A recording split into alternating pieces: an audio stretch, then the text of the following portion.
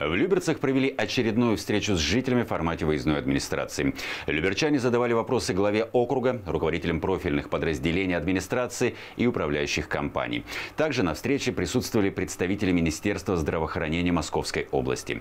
Какие проблемы волнуют жителей, расскажем в сюжете. В это место всегда темно. Это проход к школе, в школе. Это проход, получается, от дома идет и вот сюда начальная школа А это стоянка, Это рынок торгового центра. а торговый центр какой? Светофор. А, все понятно. Да, соответственно, это рынок. То есть это раньше был тротуар, они перекрыли это. Это и есть тротуар, просто его залило водой.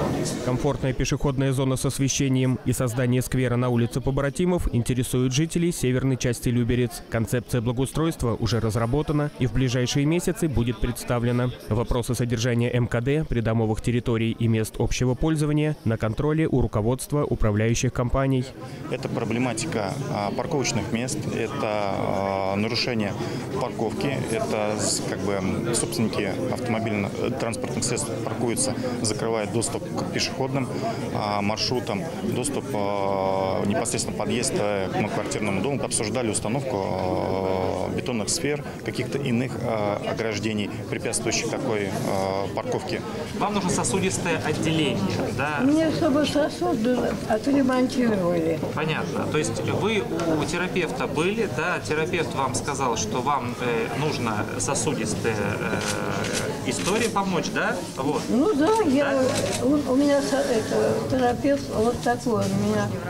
С представителями Минздрава жители обсудили сроки ремонтных работ здания бывшей больницы имени Ухтомского, обеспечение льготников лекарствами, вопросы плановой госпитализации. те вопросы, которые зад- задают люди на месте, да, э, удается решить точечно, быстро, да и эффективно. Была пациентка, которая э, у нее плановая операция э, намечена на сердце, ей нужны обследования, которые нужно пройти очень срочно, очень быстро, а назначены они были сегодня э, в 4 поликлинике э, городского круга Люберцы только на 9 декабря. Этот вопрос мы взяли на контроль, и завтра этот вопрос, безусловно, решим. На встрече обсудили качество уборки дворов, сохранность зеленых насаждений при проведении капитального ремонта домов, вывоз мусора. Более 30 вопросов взяли в работу. Богдан Колесников, Петр Пономаренко, телеканал ЛТВ.